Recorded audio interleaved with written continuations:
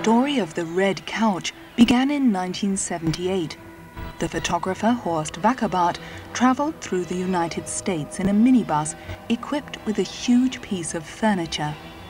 He crafted one of the most colorful portraits of American society, creating a photographic monument.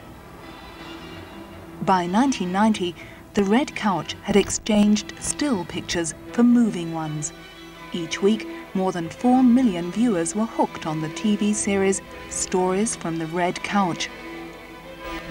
By 1994, the Couch Stories had walked away with all the best TV awards, such as Montreux, Chicago, Hollywood and New York. Best Program, Best Director, Best Satire and Best TV Entertainment.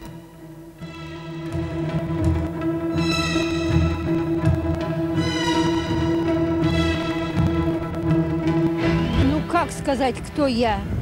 Обыкновенная русская женщина. Меня зовут Нина Алексеевна Шарова.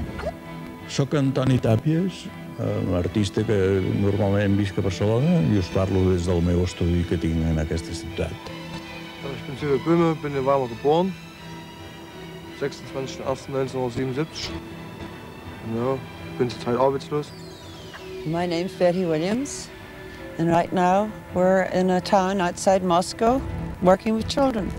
Dunque, sono eh, il pittore Gianni Kounellis. Я Михаил Горбачев, бывший президент Советского Союза.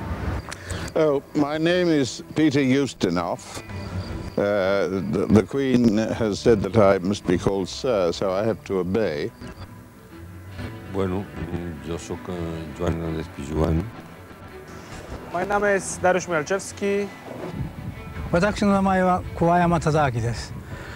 私はアーティストです。My name is Yehudi Menuhin. I'm Peter Gabriel. Ich bin politischer Beobachter.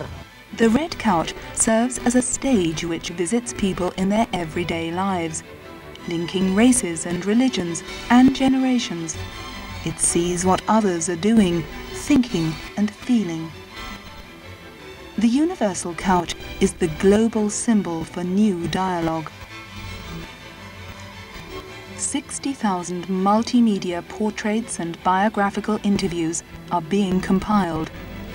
The 15 questions always remain the same, so a global picture of humanity comes into focus. This gallery of mankind will take the form of photos, photo exhibitions, TV films, clips and magazine programs, books, calendars, posters, postcards, CDs and CD-ROMs. Hundreds of thousands of people are able to virtually participate through the internet and become part of the Museum of Mankind.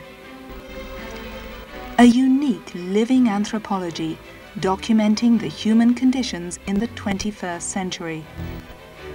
The famous Red Couch lends the project a format with an unmistakable look, something to hold on to, a forum and a common denominator for ethnic diversity. During the course of time, the audience identifies with the universal couch. It becomes something familiar and fulfills the human need for constancy. Where is the couch now? Who is sitting on it?